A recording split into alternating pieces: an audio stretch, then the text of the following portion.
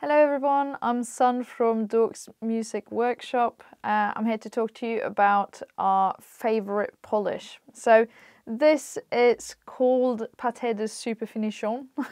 we call it Super Pâté, but you'll find on website by searching MP61. So it's a very fine uh, and versatile uh, liquid. Um, it's really good for polishing silver. Uh, it doesn't really wear down the silver at all, but it's highly effective on, on silver tarnish. But it's so mild that you can even use it when cleaning up um, uh, um, stains on lacquer or kind of anything that can affect that as well. Even after soldering, where you have a bit of a discolorization from the heat, um, you can take it off using this stuff.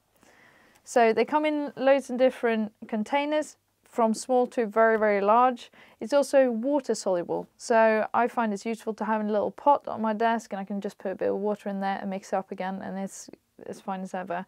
It's really uh, long lasting as well. Uh, I find I need very little um, and it goes a long way.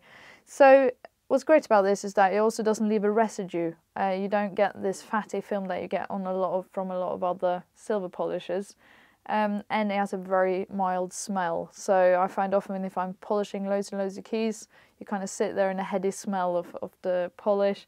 This stuff is just completely different. Um, it's really nice for professional use um, and everyday use in general. Um, and uh, yeah, all in all, I really like it. I find using just this is often enough, but just giving it a good wipe off afterwards with the silver cloth gives uh, excellent results.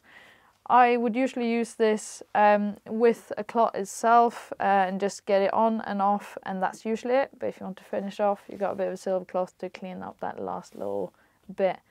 So you can find it on the Dawkes uh, Music website. Just go to dawkes.co.uk and search in MP61.